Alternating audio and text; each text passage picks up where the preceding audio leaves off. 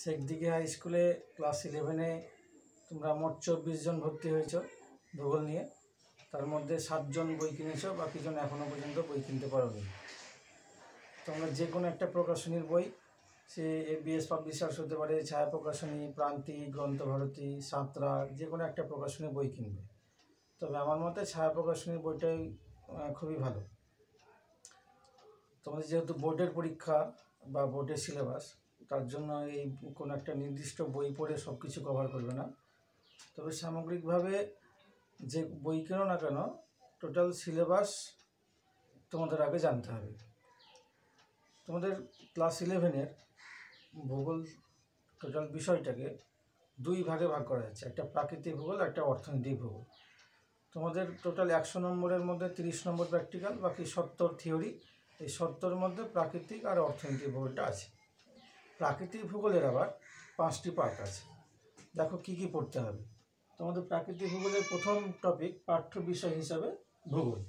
যেখানে তোমাদের ভূগোল বিষয়ের অর্থ কী, ভূগোল বিষয়ের লক্ষ্য কী, ভূগোল বিষয়ের পরিধি, অর্থাৎ কী কী পড়ানো হয় এবং ভূগোল বিষয়ে আর কী কী শাখা আছে, সেগুলো জানতে হবে। যেমন প্রাকৃতিক ভূগোল, জীব ভূগোল, মানবীয় ভূগোল, তাদের আবার বিভিন্ন শাখা, সেগুলো তোমাদের প্রথম টপিকটাই পড়ানো হবে। দ্বিতীয় টপিকটায় পড়ানো হবে প্রাকৃতিক ভূগোলের নীতিগুলোকে। অর্থাৎ পৃথিবী কেমনভাবে তৈরি হয়েছে বা সৌরজগতের বিভিন্ন গ্রহগুলো কেমনভাবে তৈরি হয়েছে বা সূর্য অন্যান্য নক্ষত্রগুলো কীভাবে তৈরি হয়েছে তার জন্য তোমাদের বিভিন্ন মতবাদগুলো পড়তে হবে। গ্যাসীয় মতবাদ ইমানুয়াল কান্টের লাপ্লাসের পড়তে হবে, নিহারিকা মতবাদ, তোমাদের জেফ্রির পড়তে হবে, জোয়ারি মতবাদ, তাছাড়া বিগ ব্যাং থিওরি পড়তে হবে। তৃতীয় নম্বর চ্যাপ্টারে পড়তে হবে ভূমিরূপ গঠনকারী প্রক্রিয়া। তো অন্তর্জাত প্রক্রিয়া, বহির্জাত প্রক্রিয়া। অন্তর্জাত প্রক্রিয়াটা তোমাদের ইলেভেনে বহির্জাত প্রক্রিয়াটা ক্লাস টুয়েলভে অন্তর্জাত প্রক্রিয়ায় পড়তে হবে, তোমার ভাঁজ কীভাবে গঠিত হয়, কত রকমের ভাঁজ থাকে, তাদের আবার বিভিন্ন সিম্বলগুলোর নাম পড়তে হবে। চুটি চ্যাপ্টার পড়তে হবে চুটির মধ্যে কত রকমের শ্রেণীবিভাগ আছে, কত ধরনের হয়, সেগুলো পড়তে হবে। তাছাড়া অগ্নুৎপাত বা আগ্নেয়গিরি, অগ্নুচ্ছ্বাস, এগুলো পড়তে হবে, আর তার সঙ্গে ভূমিকম্প পড়তে হবে। ভূমিকম্পের আবার কীভাবে কেন ভূমিকম্প সৃষ্টি হয় ভূমিকম্পের ফলে কী কী হয়? ভূমিকম্পের বিভিন্ন তরঙ্গগুলো পড়তে হবে, সেই তরঙ্গের বৈশিষ্ট্যগুলো পড়তে হবে। তারপরে চ্যাপ্টারে তোমাদের পড়তে হবে বায়ুমণ্ডল সম্পর্কে। সহজ কথায় জলমণ্ডল। অর্থাৎ সমুদ্রের তলদেশের ভূপ্রকৃতিগুলো কেমন? মহিষপান মহিডাল, সমুদ্রের বেসিন বা খাত সেগুলো বৈশিষ্ট্য, তাদের নাম, কোথায় অবস্থিত, সেগুলো তোমাদের পড়তে হবে। আর পড়তে হবে বিভিন্ন সামুদ্রিক অবক্ষেপ, অর্থাৎ সঞ্চয়গুলো নিয়ে পড়তে হবে। আর পড়তে হবে। সমুদ্রে বিভিন্ন জলের উষ্ণতা, জলের লবণতা, বিভিন্ন মহাসাগরে তাদের পার্থক্য কেন কেন পার্থক্য, লবণতার পরিমাণ, উষ্ণতার পরিমাণে, সেগুলো পড়তে হবে। আর সমুদ্রের স্রোত, অর্থাৎ আটলান্টিক মহাসাগরের স্রোত কেমন প্রশান্ত মহাসাগরের স্রোত কেমন, এই স্রোতগুলো কী কী নামে পরিচিত, অর্থাৎ উষ্ণ স্রোত না শীতল স্রোত, সেগুলো আর কী কীভাবে নাম হয়েছে, কোন কোন মহাদেশের পাশ দিয়ে কোন স্রোত গিয়েছে, সেগুলো তোমাদের পড়তে হবে। পাঁচ নম্বর চ্যাপ্টারে পড়তে হবে জীবমণ্ডল সম্পর্কে।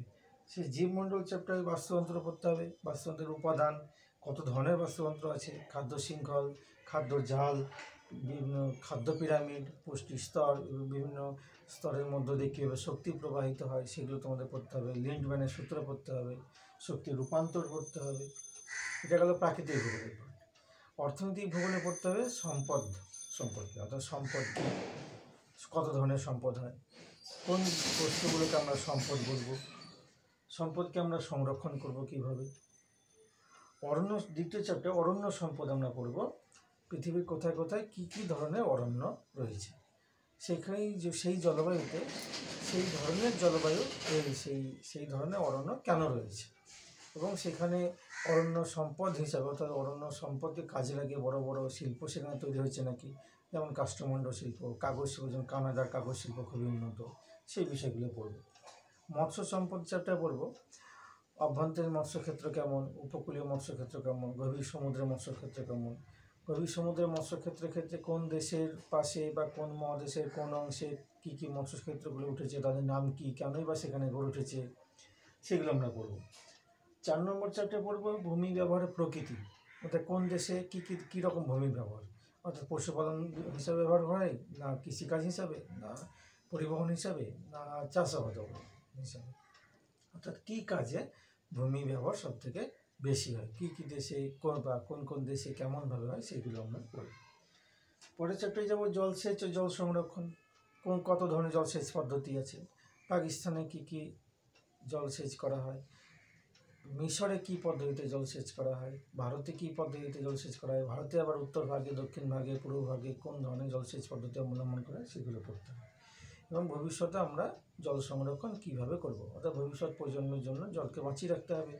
তাই বর্তমানে জল সংরক্ষণটা কীভাবে করব? সেখানে আমরা বৃষ্টির জল সংরক্ষণের কথা বলব।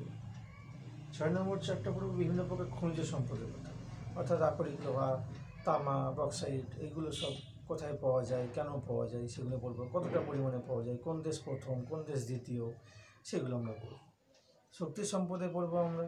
বিভিন্ন জ্বালানি সম্পদের কথা পড়ব যেমন জীবাশ্ম জ্বালানির কথা বলব, কয়লা, পেট্রোলিয়াম, খনিজ তেল, ঠিক সেরকমই প্রচলিত শক্তি সম্পদ অপ্রচলিত শক্তি সম্পদ, সেগুলো সম্পর্কে পড়ব বর্তমানে কোনগুলো বেশি ব্যবহার হয়, ভবিষ্যতে কোনগুলো আরও ব্যবহার করতে হবে আমাদের, সেগুলো পড়ব শেষ চ্যাপ্টারে যাব মানচিত্র, অর্থাৎ কত ধরনের মানচিত্র হয়, আমরা কীভাবে সেই মানচিত্রগুলো অঙ্কন করি, মানচিত্রের স্কেল কত ধরনের হয় এবং সেই মানচিত্রকে আমরা কি কি কাজে ব্যবহার করি, অর্থাৎ কো- কী কোন বিষয়টি দেখার জন্য কি ধরনের মানচিত্র ব্যবহার করি এটা তোমাদের শেষ চ্যাপ্টার তাহলে এরকমভাবে প্রাকৃতিক ভূগোলের মোট পাঁচটি আর অর্থনীতি ভূগোলের মোট আটটি, যদি টপিক আমরা বা টপিকের মূল বিষয়বস্তু জানতে পারি, তাহলে গোটা ইলেভেনের যে বইটি সম্পর্কে আমাদের জ্ঞান থাকবে এবং গোটা ইলেভেনের সিলেবাসটা আমরা কভার করি আজকে এইটুকুই। দ্বিতীয় চ্যাপ দ্বিতীয় ক্লাসে আমরা প্রাকৃতিক ভূগোলের পাঠ্য বিষয় হিসাবে ভূগোল এই টপিকটা পড়াবো।